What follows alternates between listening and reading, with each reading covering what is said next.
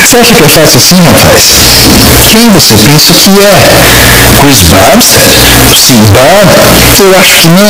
Ele jamais teria uma cantada tão ruim. Vem morar comigo no interior de Minas. Jesus Cristo.